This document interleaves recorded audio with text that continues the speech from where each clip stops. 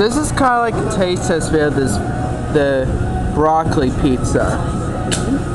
Well, I know I had the pizza before. I'm not sure if I had this broccoli pizza before. So yeah, let's get started with this taste test video. So here we go. Let's get started. And I'm at the. I'm not in my house. I'm in this restaurant in Finitos.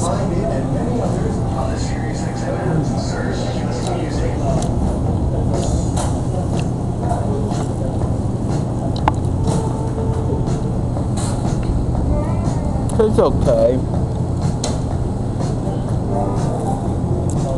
I'd like it with more broccoli. That one little piece isn't enough. No, it tastes okay. It tastes right kind of. No, it's okay. It just doesn't have a favorite taste. That's why I never had that before. I don't think they've ever, ever had it up there before, or I would have eaten it. So yeah.